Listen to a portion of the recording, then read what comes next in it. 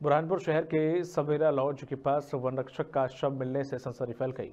बताया जा रहा है कि ज़िले के बाकड़ी वन चौकी के बंदूक लूट मामले में वन रक्षक राम बाबू वर्मा सस्पेंड चल रहे थे और इसके बाद सवेरा लॉज के पास वन रक्षक का शव मिलना कई तरह के सवाल खड़े करता है।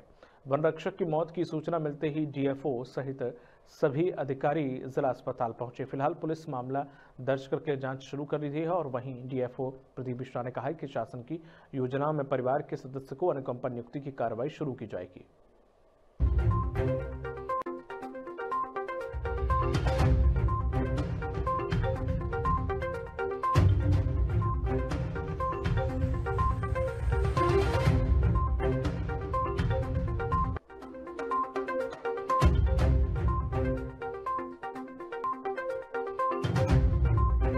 मान में नावरा में अटैच थे और कल शाम को सूचना मिली कि आ, वो कोई सवेरा लॉज है उसके आसपास उनकी बॉडी मिली डेड बॉडी।